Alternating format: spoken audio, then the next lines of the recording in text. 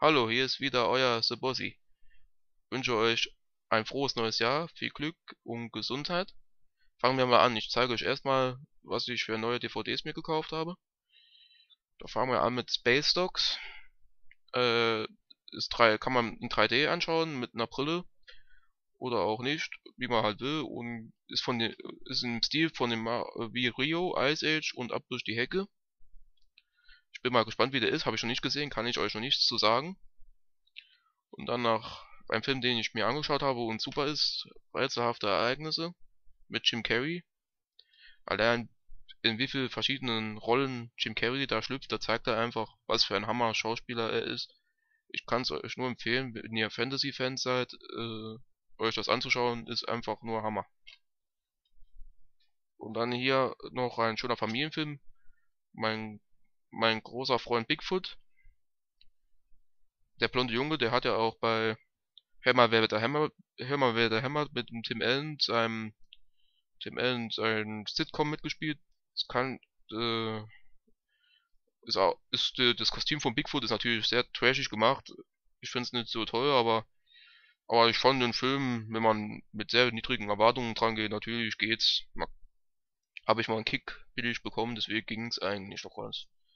Und dann hier ein guter Film noch, die Thomas Crown Affäre mit Pierce Brosnan und äh, René Rasso. Ist auch sehr, sehr toller Film. Geht's halt um, geht's halt um so einen äh, Kunsträuber und wie er das halt verschleiern kann, kann ich euch auch nur empfehlen. Ich mag eh Pierce Brosnan sehr gut als Schauspieler, allein wegen James Bond Film. Kann ich euch auch nur wärmstens empfehlen. Und dann noch hier, das habe ich zu Weihnachten bekommen, die Monster Uni. Die Monster Uni ist sehr witzig. Also ich, ich kann nicht verstehen, dass viele die ihn schlecht reden. Ich finde ganz witzig, wie die Anfänge von Mikey und und äh, und ähm, waren. Also ich finde das jetzt nicht so schlimm. Also ich fand es nicht so nicht so schlecht. Ich fand das witzig, wie sie wie sie so geworden sind, wie sie als Erwachsene waren und sind, kann ich euch eigentlich nur empfehlen. Und dann noch habe ich mir selber gekauft mal vor kurzem die Maske Special Edition. Was ich bei der, der Auflage gut finde halt, äh, die zeigen auch noch Sachen, ähm, die man nicht äh, nicht äh, nicht im Film drin waren, noch wie zum Beispiel wie, wie sie Loki äh, wie Loki in die Maske eingesperrt wurde oder sowas. Ich fand das richtig witzig. Oder auch äh, in der in einem Zeitungs in der Zeitungsfabrik, ähm, wie die die eine rothaarige, ich weiß nicht mehr wie sie heißt, ähm, halt mh, hm, halt getötet wird, aber das haben sie leider rausschneiden müssen, weil es nicht so gut angekommen ist bei den Zuschauern. Und das fand ich, das fand ich eine gute Zugabe und ja. Die Maske ist eh ein Hammerfilm, ist einer meiner Lieblingsfilme, kann man eh sich mal anschauen. So, dann noch Nichts als die Wahrheit, ist ein Thriller. Kann ich euch noch gar nicht zu sagen, weil habe ich erst mir vor kurzem gekauft, noch nicht gesehen. Dann noch Wege, äh, Wege einer Freundschaft. Habe ich auch noch nicht gesehen.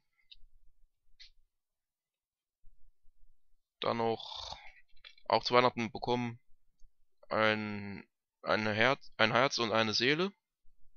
Mit Dieter Krebs, mit Heinz Schubert halt als Ekel Alfred und Elisabeth Wiedmann.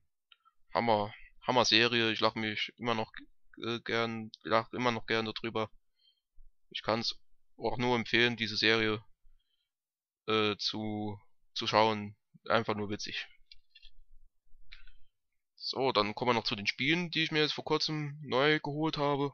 Sind jetzt nicht so viele, aber ist okay. Jack und Dexter habe ich schon mal gehabt auf der PlayStation 2, aber ich habe mal meine PlayStation 2 Sammlung habe ich ja mal aufgelöst und ja, deswegen habe ich sie jetzt habe ich mir es nochmal gekauft. Ich finde das Spiel super.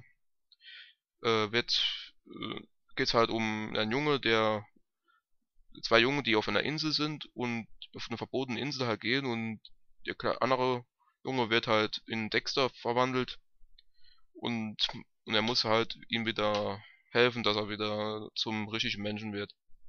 Und dann habe ich noch äh, sehr billig gefunden Madagaskar, das Spiel für den PC. Ja, das habe ich auch, das habe ich auch für, für 50 Cent gefunden. War so alles PC-Spiel, kann man, kann man zocken, ist ganz witzig, ja. So, und dann mache ich noch für euch heute eine Top 10, wo ich am liebsten im Moment höre. CDs, meine Top 10 CDs noch dabei. Udo Lindenberg im Moment, so sein Best-of, so Best-of-Lieder wie Odyssey oder Sonderzug nach Pango, Moskau, Horizont, Der blaue Planet, ich schwöre. Ich finde natürlich immer sein, seine Singstimme super, du, du, du. immer witzig, ja, kann man sich auf alle Fälle anhören. So, Platz 10, ne? Platz 9 ist im Moment Rocky Balboa höre ich gern beim Sport machen zum Beispiel immer die, die Lieder. Weil erinnere mich immer an den Film, sind die ganzen Lieder drauf, keine äh, Gonna Fly Now oder Eye of the Tiger, No Easy Way Out oder und Mickey, sind coole Lieder drauf. Also die kann ich euch nur für Sport zum Beispiel sehr empfehlen, die CD. Also bei mir hält sie, also Platz 8 ist die U2 Best of ja, allein das Lied ähm, I Will Follow oder, oder auch Sunday Blood Sunday finde ich auch super, das Lied.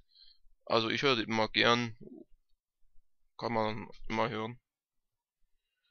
Dann noch Platz 7, Yusuf. Das war Cat, Cat Stevens früher, er hat sich ja umgenannt, neben seinem Glauben. Ähm, das erste Lied ist natürlich Heaven ist super, das Lied. Ich, äh, das ist das Another Unauthor Cup. Ich kann nicht so gut Englisch, tut mir leid. Das ist ein super Album von ihm, also ich finde das klasse. Da habe ich erst mal das Cat Stevens gehört. Ich habe ihn früher nicht gehört. Aber ich will mal auch mal so alte Albums vielleicht kaufen von Cat Stevens. So, Platz 6 ist unheilig, große Freiheit. Da brauche ich ja eigentlich nichts mehr zu sagen, weil das kennt ja jeder im Moment, das ist ja noch aktuell. Das Meer, oder, oder natürlich unter deiner Flagge ist ein klasse, klasse Lied, sehr gefühlvolles Lied, finde ich. Oder auch, ist auch härtere Dinger drauf, härtere Lieder drauf, wie Unter Feuer. Da hat er, finde ich, aber viel Rammstein abgeschaut. Das, das höre ich raus. Oder auch, ähm, manches hat er auch sein eigenes Lied, wie, wie natürlich, äh, unter deiner Flagge oder so, das hat er natürlich selber, aber für, ich finde, bei Unter Feuer hat man sehr viel von Rammstein rausgehört. Und Platz, Platz 5, Meatloaf, Bed of Hell. Ja, ich im Moment auch sehr gerne die, dieses Album. Gut, äh, natürlich auch Bed of Hell, natürlich das Lied oder Heaven Can Wait. Ist auch sehr, sehr traurig, das Lied manchmal. Ist aber sehr schön, höre ich sehr gerne seine Stimme. Platz 4, Best of Westernhagen. Höre ich auch immer ganz gerne. Rosanna oder, oder Sexy oder Weil ich dich liebe. Ich stehe auf, Freiheit. Ist klasse, sind klasse die Lieder, kann man sich immer wieder anhören. Platz 3, Santiano mit den Gezeiten. Da höre ich im Moment am liebsten eigentlich äh, Have a Twingo Me, ist super, das Lied finde ich, oder oder auch Bis in alle Ewigkeit ist klasse. Also kann ich euch auch nur empfehlen. Und dann noch Bruce Springsteen, Platz 2. Bruce Springsteen Best of. Ja, das sind natürlich die besten Lieder drauf von ihm. Thunder Road, One to One oder Burn in the USA. Streets of Philadelphia natürlich, das ist auch sehr bekannt. Kann ich euch nur empfehlen. Und dann kommen wir zu Platz 1. Das ist ACDC, aus Best of, wozu Iron Man 2 rausgekommen ist mal. Ja, das sind Schütze, äh, Thunderstruck, Hell and Place to Be, Hell for Twinkle Me, War Machine, Highway to Hell natürlich. Und natürlich Back in Black ist auch. Thunderstruck ist natürlich das beste Lied, finde ich, von ACDC. Da haben sie natürlich Meilenstein gemacht. Ich, ich hoffe, das Video hat euch sehr gefallen. Wenn nicht, ist auch nicht schlimm. ne, war nur Spaß. Und ja, das war's dann für heute. Fertig, euer Bossi.